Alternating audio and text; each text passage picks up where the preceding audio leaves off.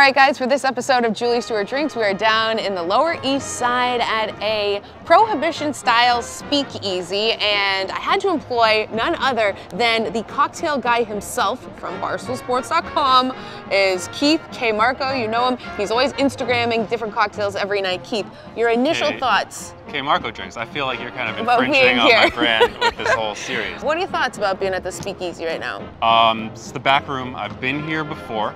I have been politely asked to leave before. Uh, more about that when we get inside. But the bar itself is super cool. This entrance right here is like so unique. You won't see it anywhere else. Where do we go? This door is normally closed, which makes it more confusing.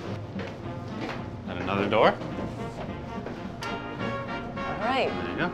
We're at the bar. We made it through the twists and turns of outside into the speakeasy, and now we are here with bartender Aria, who is going to show us what makes this place special.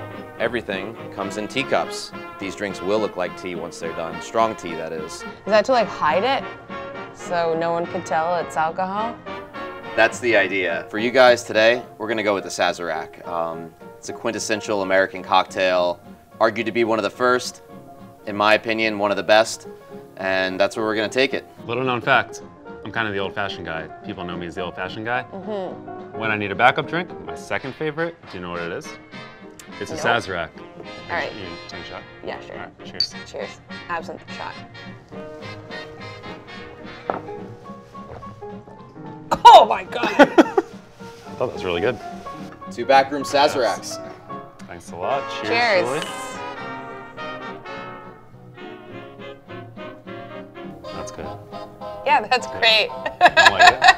it's good. It's tasty. Fantastic. So no one like chugs these things, right? They just like it's like classy. I mean, There's chugging involved. yeah. yeah, for sure there's chugging involved. People fucking puke on themselves and then come and ask for more drinks. I, I swear to God, a woman urinated at the at, at, at, in the bar like a couple weeks ago. I'll tell you what, s- slight criticism. This is a very cool idea. This would get annoying to me after like, it's annoying right Yeah. now, so two minutes. Yeah, I feel like I would I would know what to do with this. But since we're not sloppy, we'll be classy and walk around. There's obviously naked ladies everywhere. I feel like Francis would like love this here. A little piano to play. That's cool. It's like You said you put a quarter in and you like see tits or something? And I was like, nice, tits. Oh, well, look at this. Isn't this nice? Service. Cheers. What do you think of this place as a as a potential date spot?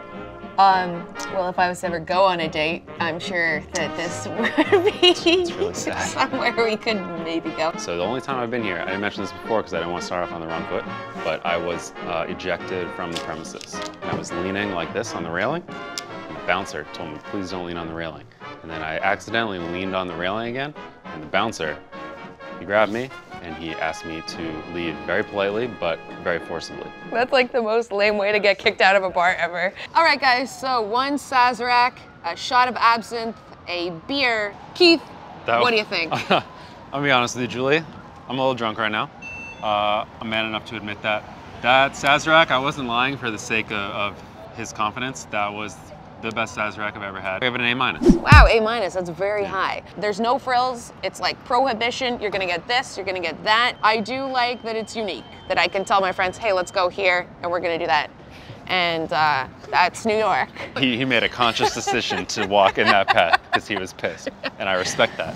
So, um, you know what? I do think A minus might be a little bit high, but I think that I would give it like a B plus plus.